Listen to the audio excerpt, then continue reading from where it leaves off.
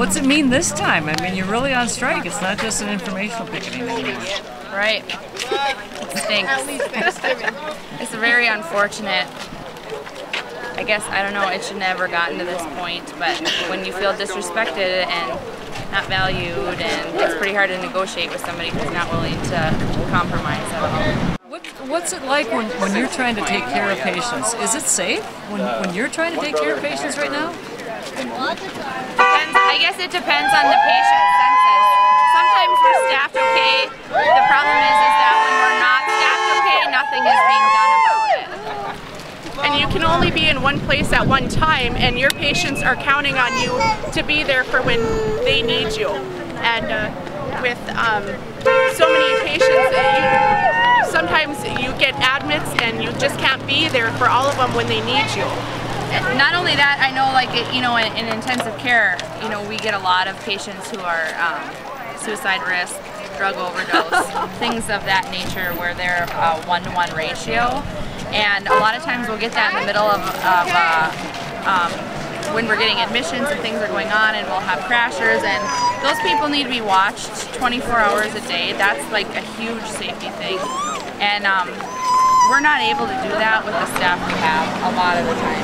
Frequently on top of, on top of taking care of our patients, like in the intensive care unit, our expectation is to be responding to cardiac arrest, traumas, uh, rapid response teams, uh, STEMI alerts, and other things that which pull us, um, one of the, at least one of the staff from ICU to other departments leaving frequently are nurses either by themselves with the rest of the ICU patients from any given time from five minutes, half hour, sometimes up to an hour. Um, and, and, then add a one-to-one -one in that mix yes. and say you don't have an aide to sit with a one-to-one -one, and one of your nurses has to go for a code. So that leaves you with stat with all your patients plus now a one-to-one -one suicidal or overdose patient that you need to have your eyes on all the time. So that leaves maybe three other patients who are just neglected for that period of time. And one may be on a ventilator with multiple drips going where vital signs can change in an instant. So um, definitely, and the backup that we get or if we have someone come and help us out generally are not from the department, not ICU trained. Um, we're glad to have that sort of help, but um, you have to know what's going on and how to, you know, figure out which alarm is actually really important and which alarm you know, and then on top of still trying to fulfill your requirement per policy and procedure to take care of those patients. So, so they can call that safe if they want to, but whoever's watching this can make that judgment call if, if they would want their loved one in the hospital while something like that was.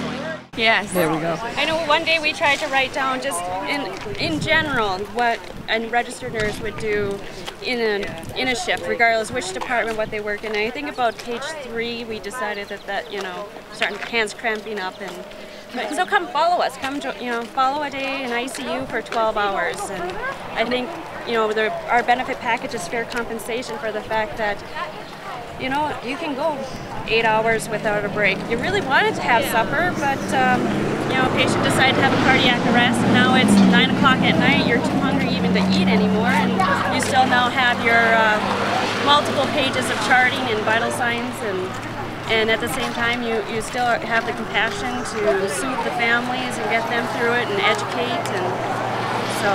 Another thing, you know, this I worked this morning, so we walked off and um, we talked to some of the physicians last night, who, by the way, wanted to wear our MNA shirts in support of us, which, um, you know, the the hospital administration says different things uh, to the public that we're being um, unnecessary or greedy or putting this, portraying this information that we just, we're just putting our wages out there and that we make six figures and all this stuff. But then we have our physicians who work next to us, um, who we communicate with daily, supporting us. And that to me should say more to the public than what the hospital is saying.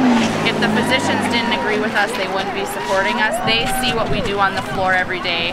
They know how many times we call them in a shift. They know I mean, we have doctors sometimes who will feel so bad for us for having a shift that we don't get to eat. They give us $100 worth and go buy some pizza. I mean, our physicians care about us and they know what we're going through. And to me, they know a lot more about us than our administration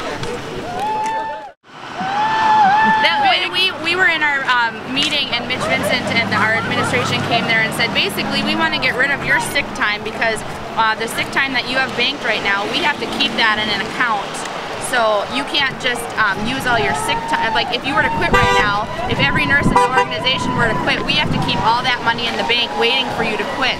If they don't have to keep the money in the bank, they just pay it all off. So that's nothing but a huge payday for them. Don't claim poverty when you have all of these new um, these new buildings and hiring new administration and then they don't have money to pay us sick time. It's not like we're asking for a hundred dollar wage increase or something. Asking for our benefits, which we deserve. And We Fairview. Corporate has millions to gain. I mean, by letting us go on strike, it goes to show that they're willing to spend so much money bringing in scab workers and staff, and yet they're still going to make millions off of us if we allow them to let us go PTO, but we will not.